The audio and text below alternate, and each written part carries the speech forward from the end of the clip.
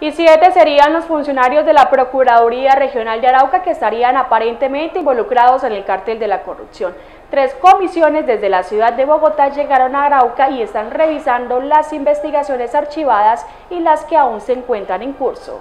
A tan solo seis días de la llegada a Arauca del Procurador General de la Nación Fernando Carrillo, se realiza un revolcón en la Procuraduría Regional de Arauca. Tres comisiones de la Procuraduría General de la Nación se encuentran desde hace varios días en la capital araucana, desempolvando varios procesos de corrupción en la Procuraduría Regional que habían sido archivados. Al parecer también se ha destapado un grupo de funcionarios que estarían involucrados en el cartel de la corrupción en el Ministerio Público este grupo élite que se apoderaron de todos los computadores, USB y hasta teléfonos celulares de algunos funcionarios que al parecer serían los involucrados en el cartel de la corrupción en la Procuraduría Regional de Arauca. En la lupa del Procurador Carrillo estarían contratos del sector salud, entre los que se encuentra el Hospital San Vicente de Arauca, obras e investigan los procesos archivados contra algunos políticos de la región. El 12 de octubre, el Procurador General de la Nación, Fernando Carrillo, y la Vicecontralora General de la República, Gloria Alonso Masmela, darán a conocer muchos procesos que se volverán a desempolvar y algunos resultados en el Ministerio Público.